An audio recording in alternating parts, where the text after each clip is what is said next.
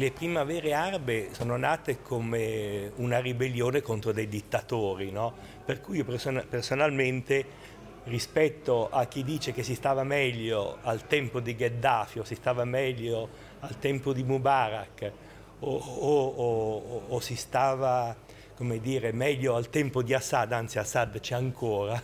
no, ma tutti un po' dicono questo. Allora io credo che è come se noi dicessimo che eh, l'aspirazione a una democrazia può valere solamente per noi occidentali, invece consideriamo eh, gli, eh, gli, arabi dei, de, delle persone di serie B, per cui hanno bisogno di un dittatore. L'ISIS è stata un'idea, no? E questa idea ha affascinato, cioè eh, l'idea dell'ISIS, eh, cioè l'ISIS non è solamente un gruppo terrorista che ha fatto queste azioni e che ovviamente eh, dire, noi, eh, noi, condanniamo e che eh, rappresenta il male estremo, ma l'ISIS rappresenta un'idea di emancipazione nel mondo arabo. Cioè noi dobbiamo, secondo me, eh, approfondire questa analisi di, di, di qual è stata la capacità di attrazione che il fondamentalismo islamico ha avuto.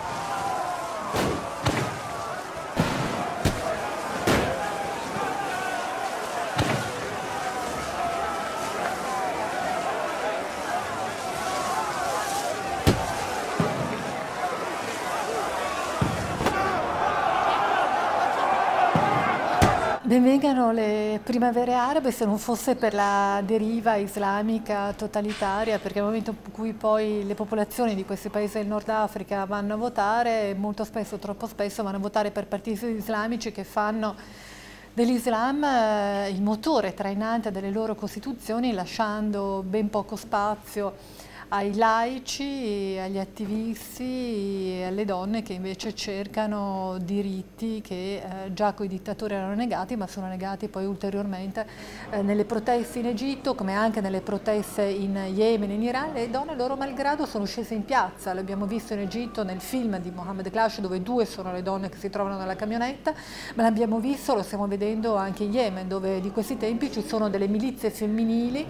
nelle milizie sciite, Houthi dei ribelli che eh, vengono riprese regolarmente dalle televisioni, dalle immagini dei fotografi. Da una parte viene a pensare eh, che si tratti di propaganda, ma dall'altra bisogna fare di necessità virtù, cioè le donne, loro malgrado, si emancipano attraverso le guerre, ma i loro diritti fondamentali di fatto vengono messi a margine, perché nel momento in cui ci sono dei conflitti aperti, penso all'Egitto, ma penso soprattutto allo Yemen in questo momento, le riforme vengono bloccate. L'altro problema importante è che eh, finché si parla di Egitto, che ha 84 milioni di abitanti, la stampa eh, ne scrive, parliamo di Siria, eh, ne scriviamo spesso e volentieri perché arrivano profughi dal vicino Oriente, ma quando si parla di altri paesi come lo Yemen non ne parliamo perché i sauditi e i loro alleati hanno messo in atto di fatto un blocco navale che impedisce agli yemeniti di scappare, sono oltre 3 milioni gli sfollati che non riescono a varcare le frontiere, 6.700 i morti di cui la maggior parte sono civili, 10.000 i morti secondo l'Unicef di bambini tra gli 0 e 5 anni morti di fame, morti per mancanza di medicine. Tutto questo nella totale non conoscenza del pubblico occidentale perché lo Yemen non fa notizia. Oggi non c'è una generazione in Europa che si appassione alle battaglie democratiche del mondo arabo. Cioè noi, eh, come dire, non siamo ignoranti, non abbiamo interlocutori, cioè non sappiamo chi appoggiare, non, sostanzialmente non, eh, non ci interessa niente.